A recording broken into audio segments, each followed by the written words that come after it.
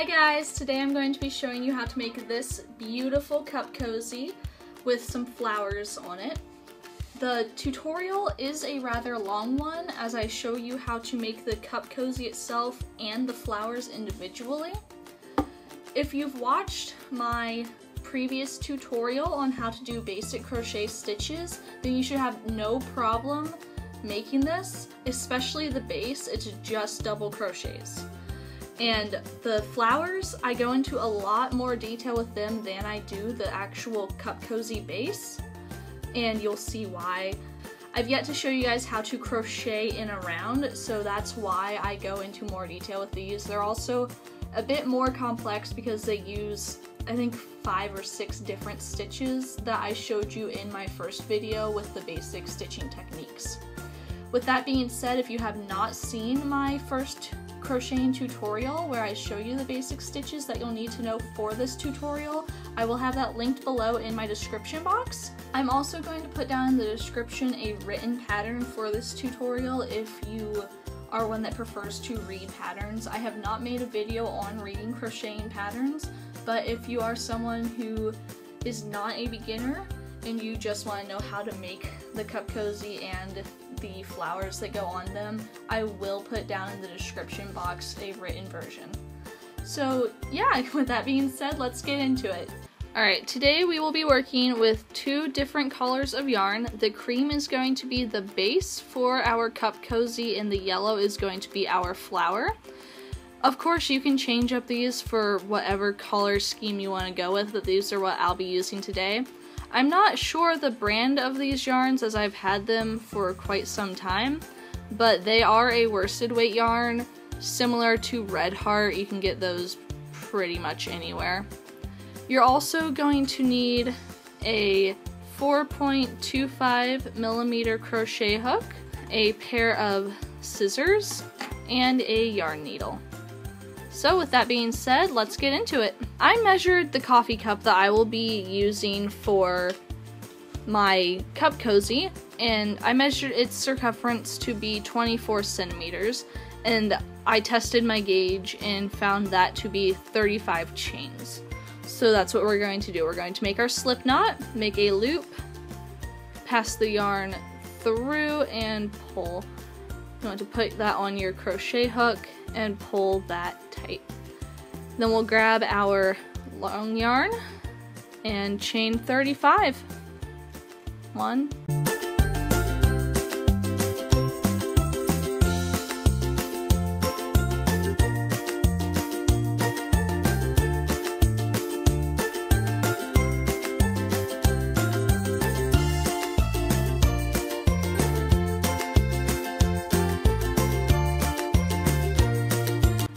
have my chain 35 and if we grab my measuring tape we will see that that comes out to about 24 centimeters. So we're good to go. Alright, so the stitch that I want to use today is a back loop double crochet. And for our first row, we're just going to chain two extra, yarn over, and then go through that third chain from the hook, yarn over, pull through, yarn over, pull through two, yarn over, and pull through two. And your first row will just be normal double crochets.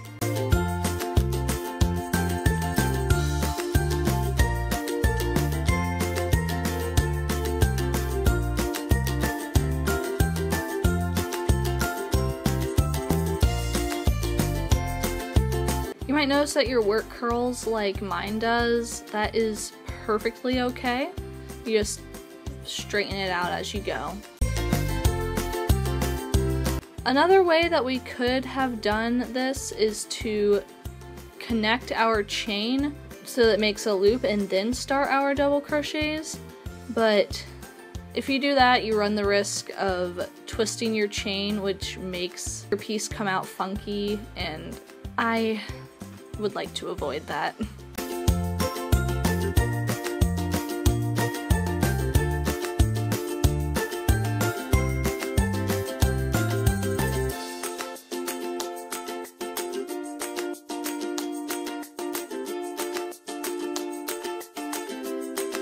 here I am with my 35 double crochets finished.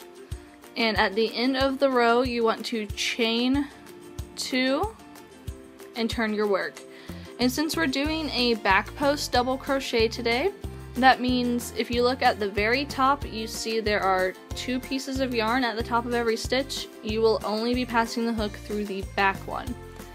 Now, like normal, we are going to skip our first chain space and then go into the second one. So you'll yarn over like a normal double crochet, go through that back loop, yarn over, pull through, yarn over, pull through two, yarn over, and pull through two. And as you can see, it adds a little step back and dimension to the piece. It adds a nice little texture. So again, we're going to yarn over, go through just that back loop, yarn over once more, pull through, yarn over, pull through, yarn over, pull through. And we'll go through that one more time. Yarn over, through the back loop only, yarn over, pull through, yarn over, pull through, yarn over, and pull through. And we'll continue that through to the end of the row.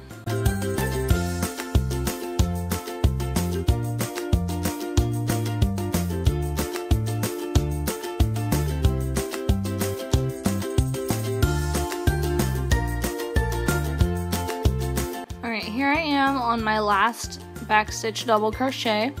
I just wanted to show you guys because it might be a little confusing where you're exactly supposed to put the hook. So we yarn over. And if you can see here, we just have this little bit on the end. There's, but there is a back for you to go through. So you want to go through that. Yarn over, pull through, yarn over, pull through two, yarn over, and pull through two. And that is your second row of crochets, your first row of back loop double crochets. You can see the texture that it adds to the piece. Now again, at the end of our row, we're just going to chain one and two, turn our work, skip the first double crochet, yarn over, go through the back loop of the second, yarn over, pull through, yarn over, pull through two, yarn over, pull through two. And then we're going to just finish that for our third row.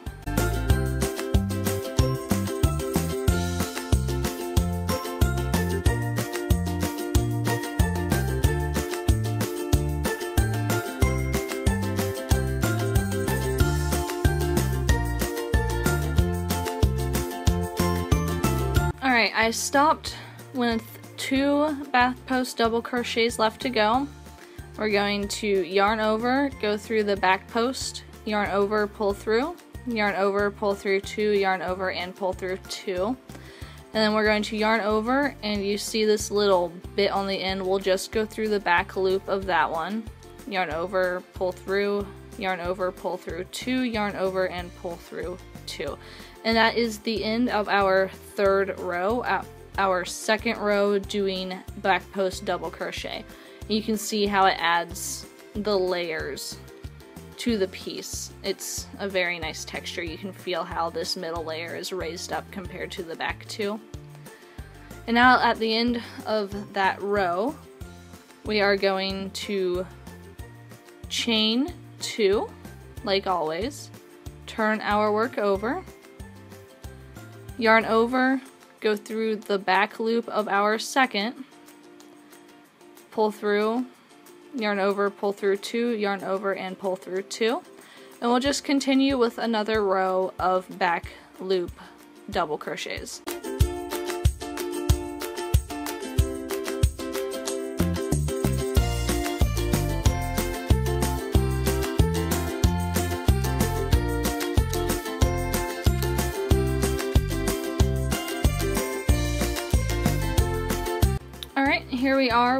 One stitch left of back posts. We yarn over, go through the back loop of that little end, pull through, and we're going to finish our double crochet. And this is what the piece looks like so far. You could definitely stop here if you like the texture, but I want to add one last row just so that we have an odd number and it looks a little more visually pleasing. So you'll chain your two, flip your work, go through the back post of the second double crochet and do your double crochet and then just continue that for our last row of back post double crochets.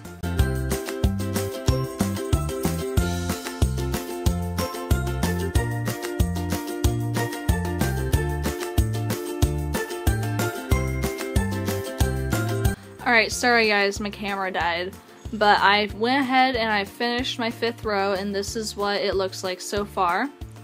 I have finished my last double crochet of the row and I'm just going to make a chain and then cut off my string and I want to leave enough yarn to sew this edge here to the other edge, you know, make a circle.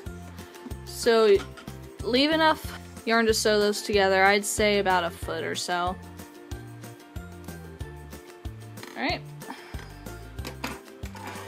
And then you want to just take where that chain is and just pull the yarn completely through and pull that tight.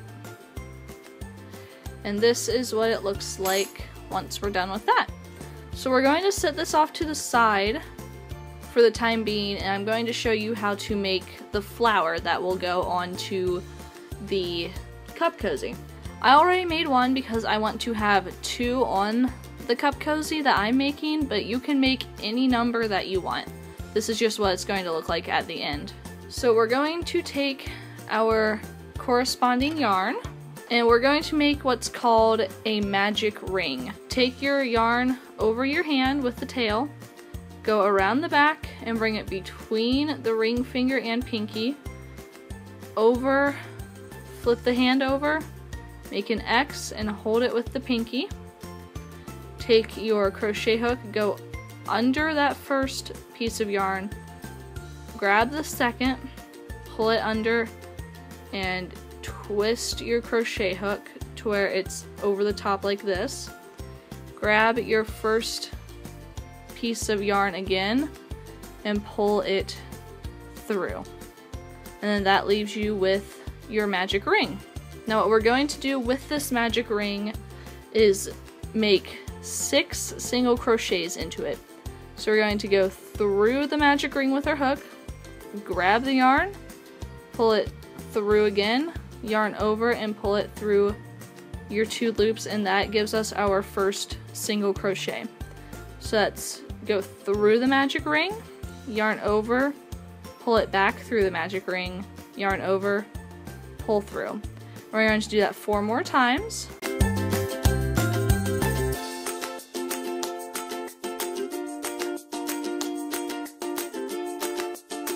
Now if you count, that's one, two, three, four, five, six single crochets. So we are going to take this tail from our magic ring and pull on it. And you see what that does to your work so far. So pick up your working yarn and we're going to find that first single crochet that we did and slip stitch into it.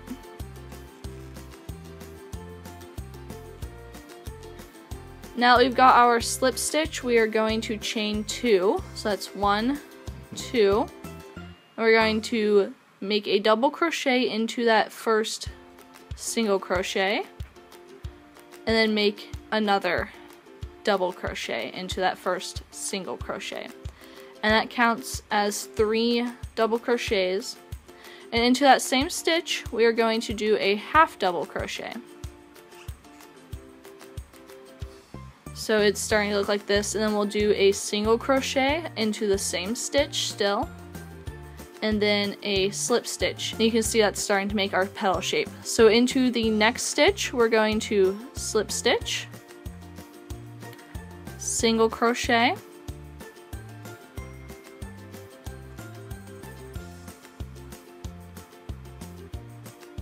half double crochet, and then do three double crochets into that one stitch And then into that same stitch, do a half double, then a single, and a slip stitch. Alright, and now we're going to slip stitch into the next stitch, but you can see that it has gotten hidden by your petal, so you want to be careful and make sure you're going into the right stitch. Then you'll just slip stitch into there. Then into that same stitch, do your single crochet. Or half double crochet, three doubles,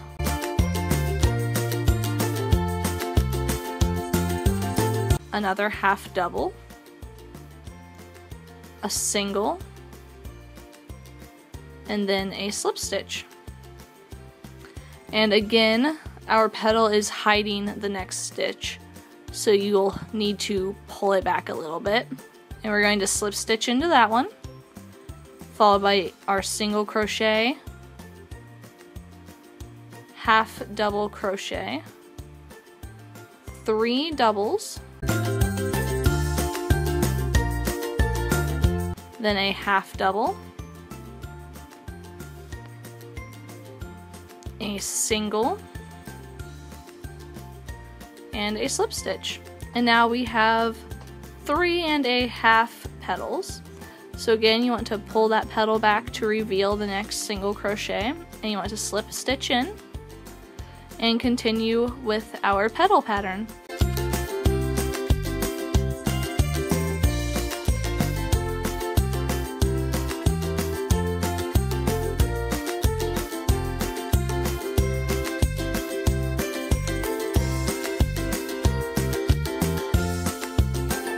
And now we have four and a half petals. And it is a six petal flower that we're making. So we're going to pull that petal back, slip stitch into the next stitch,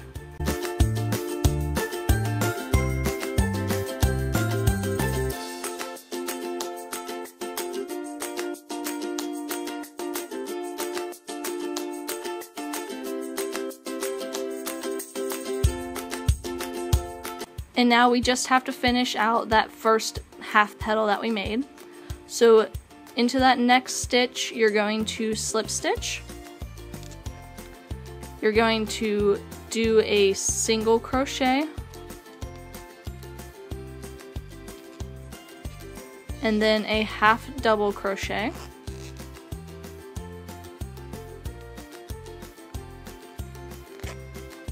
And then you're going to count your chains. So that's one and two and you're going to slip stitch into the second chain of that first double crochet that we made. And that is your flower. You just need to make a chain one and cut off enough yarn to sew it onto our cup cozy and pull that through. Alright, so now we have our cup cozy and our two flowers. And we're just going to take our yarn needle and we're going to first take this end piece where we finished off on the petal. We're going to thread our yarn needle. Yes, so thread your yarn needle on the piece that's coming out of the petal here and pick where you want to place it on the cup cozy. And first you want to bring the yarn under here so that it's slightly hidden. You want to weave it in there so that you can't tell that there's a you know, piece of string coming out of the end of your petal. And then I want to poke it through the back here so that we have both of our tails coming through the back end of our flower and find where you want it on here. I'm going to place mine near the seam so that it will be covered up once we sew the whole piece together. You want to poke it through and bring it through to the back. Find another stitch nearby, bring it up through. And I brought mine up through the middle, so I'm going to just go around the middle, sewing my flower on making sure that it is nice and secure. And if you bring it in through the middle like this, it's also a good way to hide your stitches from the front because it looks like it's just part of the normal crocheting. Alright, I've got my flower nice and secured there. It's not going anywhere. So we want to turn around to the back. You can see where I've done my stitches. I'm going to take that piece of yarn off of my yarn needle. And we're going to thread it with the other tail. And we're going to take that other tail it's still between the flower and the cup cozy and we're just going to bring it through to the back side of the cup cozy and take that off of our yarn needle. We're going to come back to the back and see where we have the two ends. We're just going to tie a couple of knots so that they don't come undone and we don't lose our flower. After that, you can just take your yarn needle again and weave in your ends.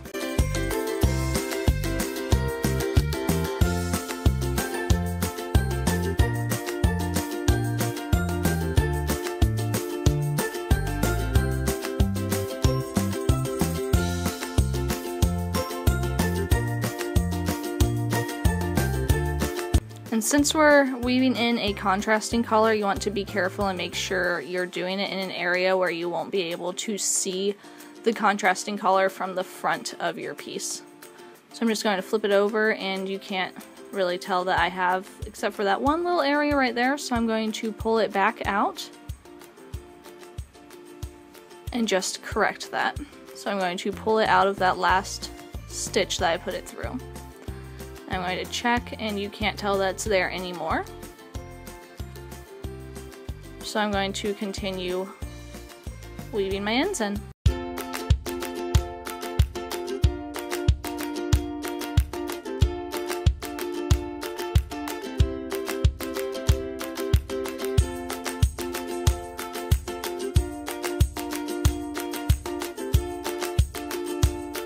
Alright, and that is one flower sewn on. And then you'll want to figure out where you want the placement of your second flower. And I'm trying to place mine so that they will hide the seam once I sew the entire cup cozy together. So I'm going to put mine on the corresponding side. So again, you want to thread your yarn needle.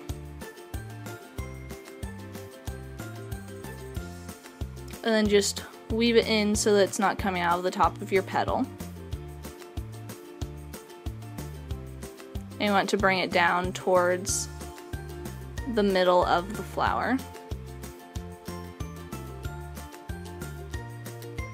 Just like that, where it's coming out of the middle here. And you have both of your tails on the back side.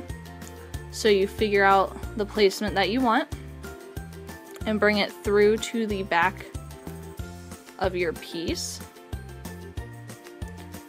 And then just sew it in like we did the other one. I'm just going around the center of the flower with these stitches since that's the only section of the flower that I want to secure down. But if you want to secure down the petals, of course you'll need to do that.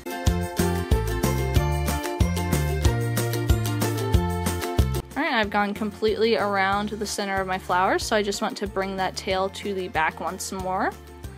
I'm going to take my other tail, thread my needle, and you want to go between the flower and the cup cozy and just pass it through the cup cozy and into the backside. And then again, we're just going to tie a couple of knots with these two tails and then weave our ends in.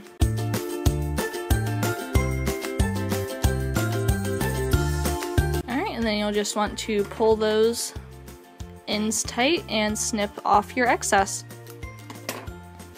And now we have both of our flowers sewn onto our cup cozy. Now for sewing the entire cup cozy together into a circle, you want to first look at your piece and you'll have two different lengths of tails. You want to take that shorter of the two and weave it in before we sew the two ends together.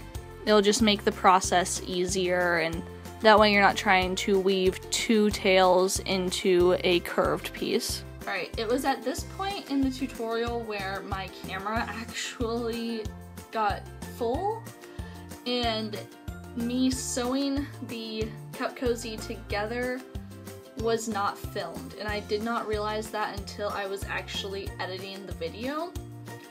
But to sew it together, it's a really, really simple process and I believe that if you've been able to get to the point that I actually filmed in the tutorial, then you should have absolutely no problem sewing the cup cozy together into the loop here. That's what it looks like on the inside. You can't even see that there's a seam there because the yarn is the same cream color. But you just want to take your yarn needle, thread it with the yarn, and sew it together. It helps if you hold it. You might want to get some like pins or stitch markers to hold it in place as you're sewing. But if you have any basic sewing skills, it is a very simple process and I hope you all the best. With that being said, I hope you enjoyed this tutorial. This is a freaking cute project and I think it's great for beginners. If you enjoyed making this cup cozy or even just watching me make one, give me a thumbs up Comment down below what tutorials or just content in general you would like to see next. And go ahead and subscribe. Thanks guys. I thank you so much for watching I hope you all have a great day. Bye.